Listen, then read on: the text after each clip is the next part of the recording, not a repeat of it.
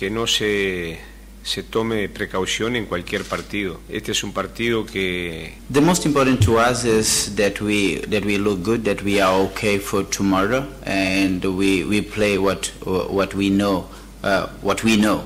Uh, we're not worried about the opponent, and obviously we trust that we will have a good refereeing. tratando de un juego, es un partido de fútbol, es una fiesta. Well, I don't believe South Africa will will receive such protection because they don't need it. It's a game, it's a party. Uh, we are here to entertain. There's, it's only a match and nothing else, nothing beyond beyond that. So we are ready, and I believe South Africa is also ready to, to have uh, an entertaining match tomorrow.